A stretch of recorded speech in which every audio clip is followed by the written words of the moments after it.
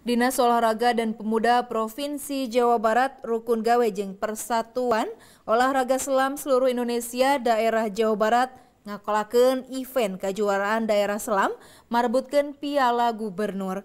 Tekurang ti 20 tilu klub wawakil 13 pengurus cabang posi aub dina eta kejuaraan daerah anu dilakonan pikeun maluruh turta ngalatih tuturus atlet selam anu prestasi nanyong colang ti sakuliah Jawa Barat.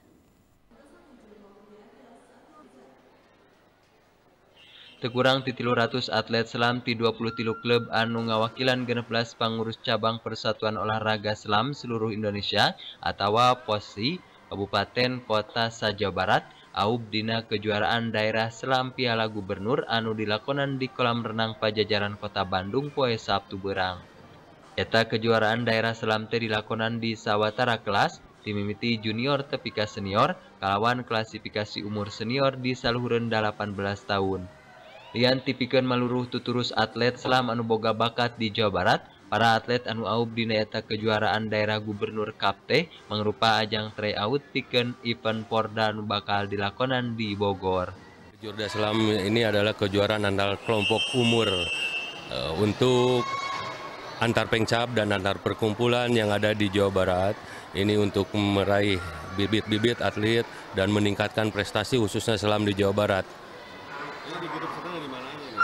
Yang mengikuti ini adalah klub-klub yang ada di Jawa Barat terdiri dari 23 klub dan 16 pengcab da sekota kabupaten se-Jawa Barat.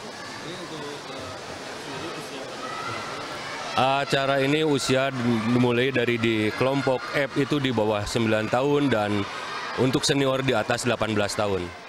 Sejeroning kitu pikeun para atlet senior anu prestasi nanyong colang dina kejur dakiwari secara otomatis bakal jadi rekomendasi pikeun event anu leuwih gede dina hambalan kejurnas turta jadi persiapan atlet selam Jawa Barat pikeun pon anu bakal datang anu bakal dipaju di Papua.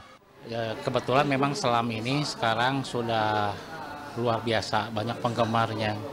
Jadi kalau di akuatik ini kita nomor dua lah setelah renang.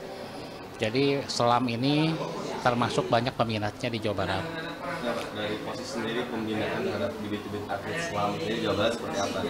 Pembinaan kita banyaknya melalui lewat klub, klub-klub, kemudian kepada pengcap, baru kita saring melalui pengprov.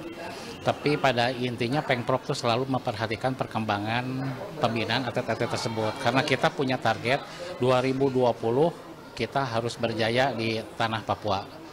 eta kejurda selam teh bakal dilakonan saban tauna anu harapanana bisa mucungkeun bibit atlet selam anu bakat nanyong colang di Jawa Barat anu mampu makalangan dina hambalan nasional tepika internasional. Yuana Kurniawan Bandung TV